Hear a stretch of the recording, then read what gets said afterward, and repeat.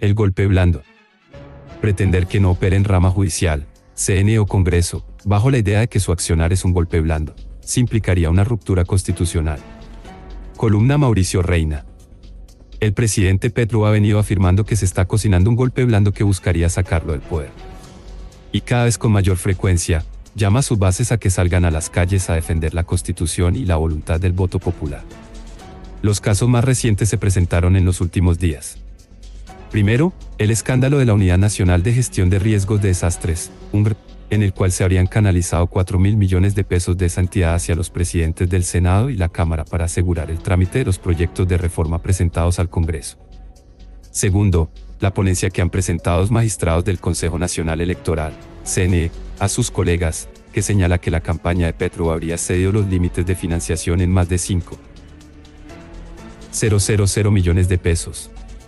Similares argumentos ha usado el presidente cada vez que el Congreso de la República se ha opuesto a aprobar sin chistar alguna de sus iniciativas legislativas. Veamos los argumentos del presidente. ¿Constituyen estos episodios violaciones de la Constitución?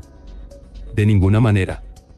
Se trata ni más ni menos que de la operación normal de las instituciones democráticas que establece la Constitución.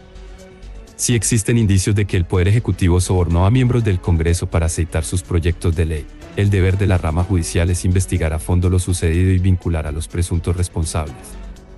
Pretender que los organismos de control se quedaran quietos ante estas sospechas y que constituiría una ruptura constitucional. Otro tanto sucede en el caso de la presunta violación de los topes de financiación electoral que se discute en el CN.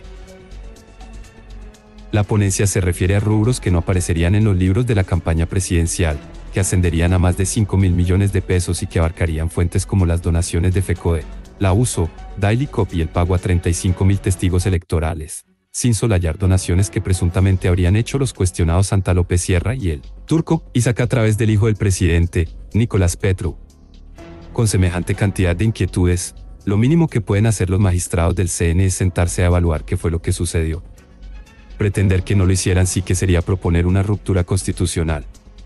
¿Y acaso cuando sectores del Congreso cuestionan o rechazan los proyectos de ley del gobierno, están ignorando la voluntad del pueblo manifestada en las urnas? Por supuesto que no. El pueblo votó por Gustavo Petro para encabezar el poder ejecutivo, pero también votó por los congresistas para que en el Parlamento aprueben o rechacen sus proyectos de ley. Pretender que no operen normalmente la rama judicial, el CN o el Congreso, bajo la idea de que su accionar constituiría un golpe blando, sí que implicaría una ruptura constitucional.